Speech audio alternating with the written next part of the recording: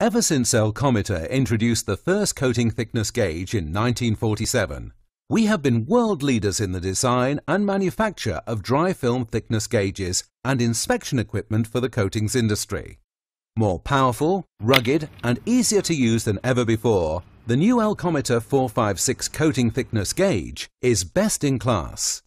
Available as an integral or separate gauge with a wide selection of separate probes, there are four versions of the Elcometer 456. From the entry-level Model E to the Model T, which provides users alphanumeric batch memory, warning limits identifying when a reading is outside specification, and predefined calibration methods to meet ISO, SSPC, PA2, and other national and international standards. Ready to use, straight from the box, each gauge is factory calibrated.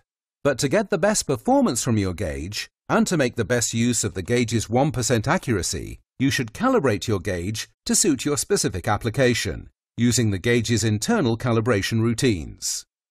A range of calibration options are available on your Elcometer 456 gauge. The one you choose depends on your application. Zero calibration is a simple method for calibrating on smooth substrates and is sometimes referred to as single point calibration.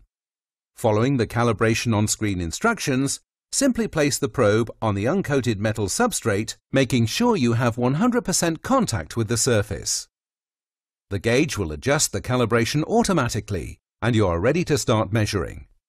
Smooth calibration is a more accurate method than the single point or zero method as the gauge is calibrated using a calibration foil and an uncoated substrate. Calibration foils, or shims, are the most convenient way of creating a coating thickness standard on the substrate material, surface finish or shape.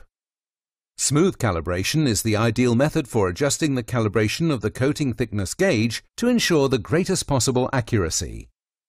With metric and imperial values displayed on each foil, the chosen foil should be close to, but greater than the expected dry film thickness value. Rough, or two-point calibration, is the ideal method for calibrating the gauge on rough or blasted profiled metal substrates, or for substrates where there are significant differences in the magnetic or electrical properties of the substrate. The calibration requires two foils values. One should be a value above the target film thickness and one below. Simply follow the on-screen instructions to calibrate your gauge. Zero offset calibration is a patented calibration method to help measure film thickness according to ISO 19840. ISO 19840 simply states that if a blast profile is unknown, you should calibrate on smooth steel then subtract a predefined value from the measurement taken on the coated surface. The zero offset calibration automatically removes this value, so you don't have to. Another unique calibration on the Elcometer 456 is auto calibration for those users who are regularly coating to the same target thickness.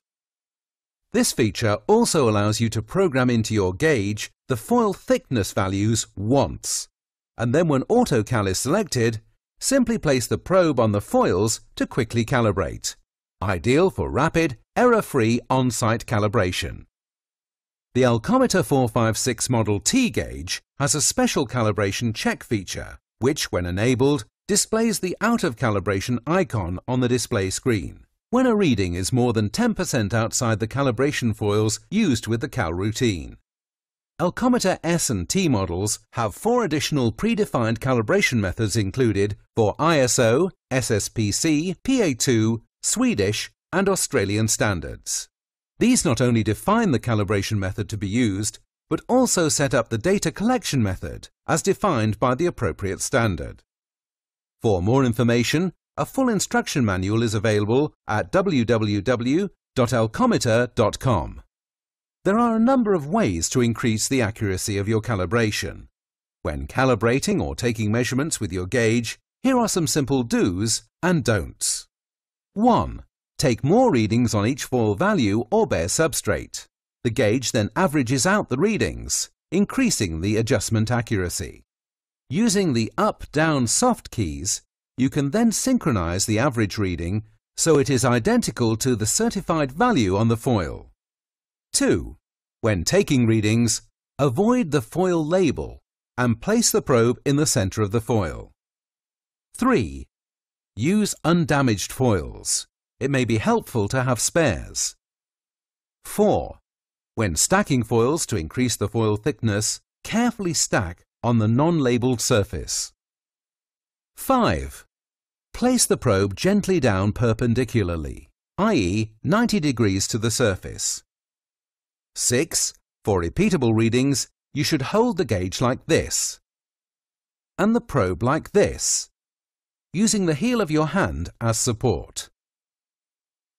7.